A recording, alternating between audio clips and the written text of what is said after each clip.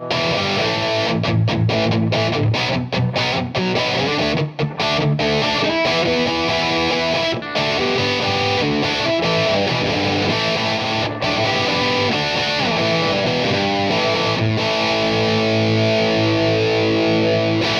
everyone, Lucas here. If you're looking for a new guitar or bass strap, I might have the right one for you.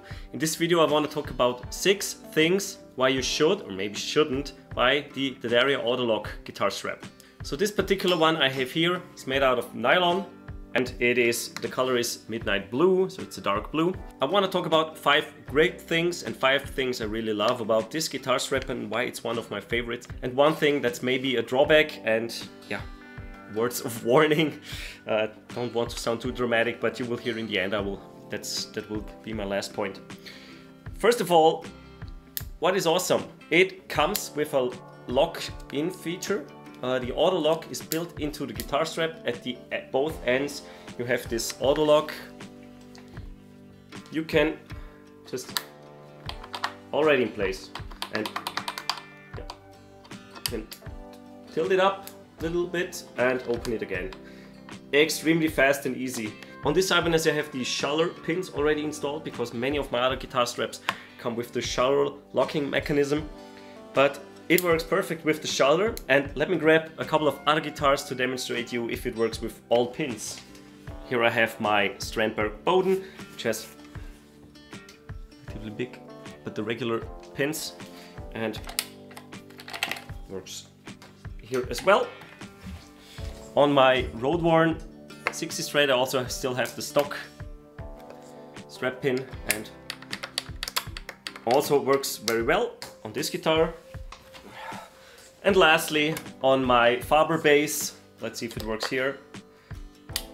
Yeah, it's a tight fit, so you can use it for bass as well. So I think the auto lock feature of this strap is awesome. You don't need the Schaller system anymore if you like the strap. D'Addario says on the website that it doesn't fit all guitars or all kind of pins. Extremely thin or, or extremely big ones it might not fit on. So it's not guaranteed to be a fit, but yeah, some strap pins for a guitar are pretty affordable. The second thing that's awesome about this strap is the price. It is pretty cheap. It only costs $30 or 30 euros, something like that. I bought this one on Amazon for about 30 euro and this video is obviously not sponsored by D'Addario, unfortunately. And yeah, price, that's in my book, it's a fantastic price tag because the material is really nice. Which brings me to the third point, the material. This one's made out of nylon and it's very soft and feels nice to touch. If you just love your leather belt, okay, then this is, might not be perfect for you. But it comes in three different materials. Uh, it says on, on uh, the, the D'Addario website you can also use a padded one. That's yeah, slightly different material to this. And Polypro. But what I read on uh, some Amazon reviews is that the nylon one is actually the nicest one and it's nicer or, or feels nicer than the padded one. That's why I chose this one.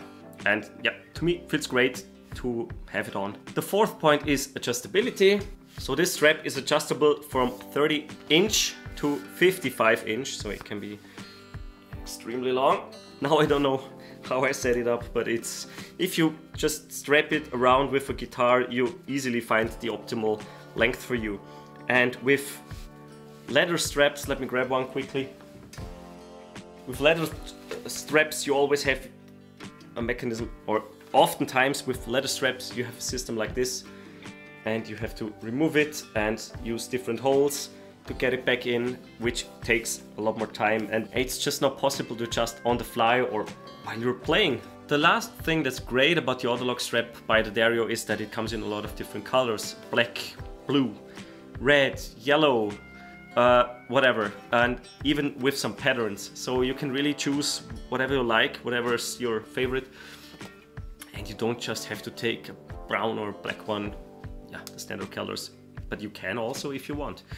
So those were the five main advantages. A fifth maybe bonus advantage for all the vegetarians and vegans out there. Since it's not made out of leather, obviously no animals were harmed uh, in producing this, so this might also be uh, worth mentioning.